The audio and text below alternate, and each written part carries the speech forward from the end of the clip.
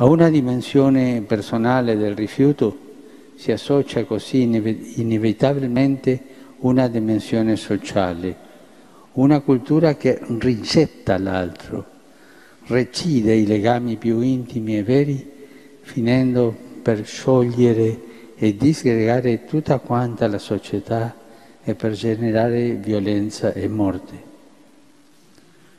Ne abbiamo una triste eco in numerosi fatti della cronaca quotidiana, non ultima la tragica strage avvenuta a Parigi alcuni giorni fa. Nel sollecitare la comunità internazionale a non essere indifferente davanti a tale situazione, auspico che i leader religiosi, politici e intellettuali, specialmente musulmani, condannino qualsiasi interpretazione fondamentalista ed estremista della religione volta a giustificare tali atti di violenza. Simili forme di brutalità che non di rado mietono vittime fra i più piccoli e i defessi non mancano purtroppo neanche in altre parti del mondo.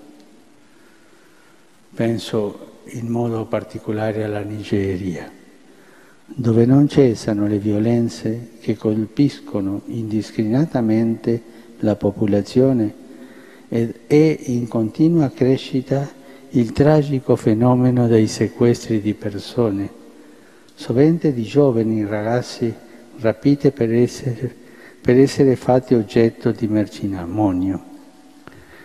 È un esecrabile commercio che non può continuare una piaga che occorre sradicare poiché colpisce tutti noi, dalle singole famiglie all'intera comunità mondiale.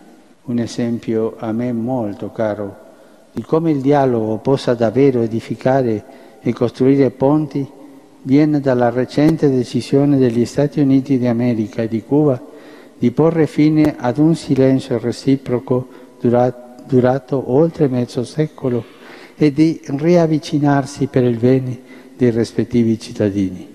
Accolgo poi con soddisfazione la volontà degli Stati Uniti di chiudere definitivamente il carcere di Guantanamo, rilevando la generosa disponibilità di alcuni paesi ad accogliere i detenuti.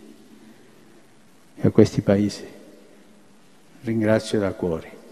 Guerre o delle malattie con questi sentimenti rinnovo a ciascuno di voi, alle vostre famiglie e ai vostri popoli l'augurio di un 2015 di speranza e di pace.